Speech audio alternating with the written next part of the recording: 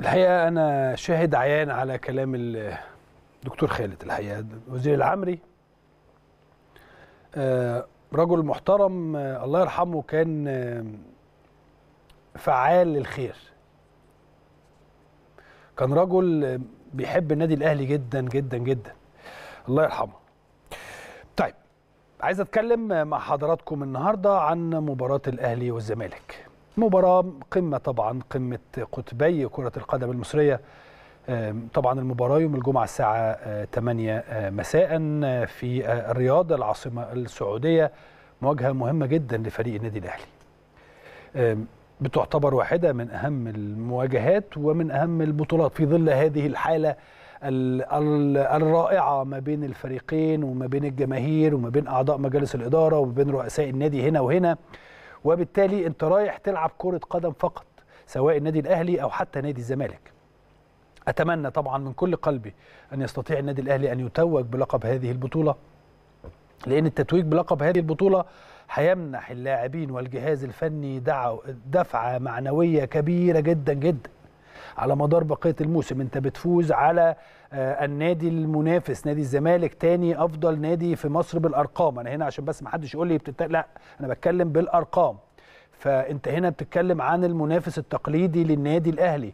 بتتكلم عن نادي كبير جماهيريته ك- بعد جماهيرية النادي الأهلي. فأنت هنا بتتكلم عن مباراة يجب أن تكون على أرض الملعب آه، مباراة حلوة.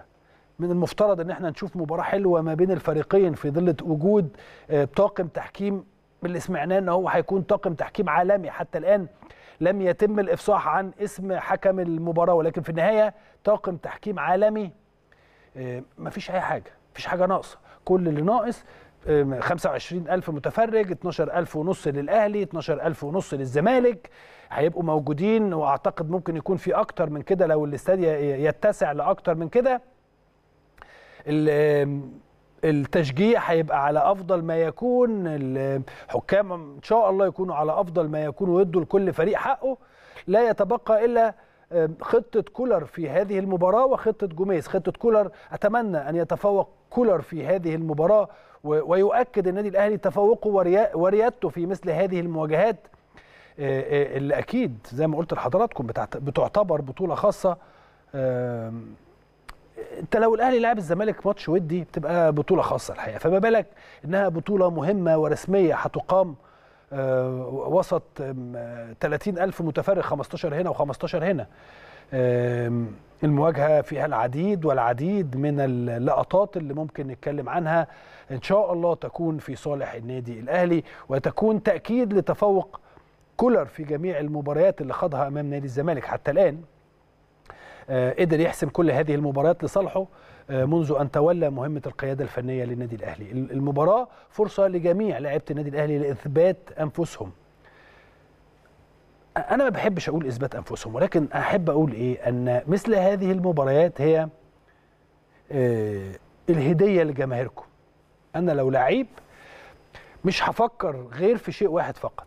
كيف أستطيع أن أفوز في هذه المباراة آه، عشان اكسب وعشان بطولاتي تزيد وعشان اخد فلوس. كل كل ده كلام حلو ورائع وكل حاجة ولكن أنا لو لعيب هيبقى نمرة واحد بالنسبة لي حضراتكم جمهور النادي الأهلي.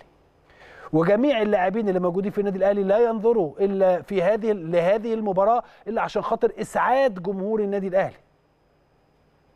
أنا مش عايز أتكلم على لعيب أنا بتكلم على كل الفرقه الفرقة مركزة تركيز تام وكبير جدا جدا جدا علشان إسعاد جمهور النادي الأهلي فقط لا غير. أتمنى آه، إن كولر يكون إن شاء الله مركز في هذه المباراة يستطيع أن يتخذ القرارات المناسبة في هذه القرارات في هذه المباراة لأنها قرارات ستكون مصيرية بالنسبة للمباراة. عموما خلينا نطلع نشوف تقرير عن أرقام النادي الأهلي القياسية في بطولة كأس مصر وتاريخ حافل وكبير ومشرف للقلعة الحمراء.